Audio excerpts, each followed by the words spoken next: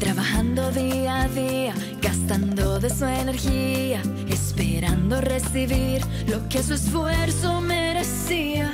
A esos quiero hablarles hoy, pues sé lo que se siente vivir dentro de un cajón y sé muy bien que el tiempo y Dios devuelven al que criticó por donde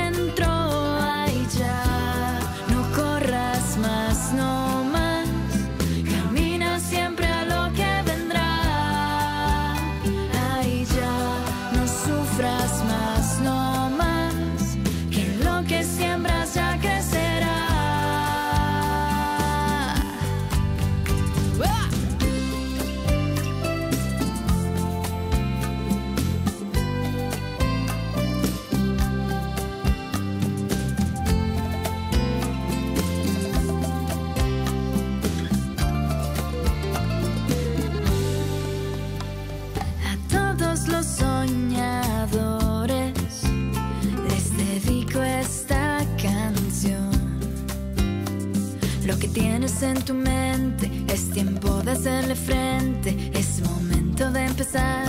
Aunque nadie más lo intente, vamos ya, no corras más, no más.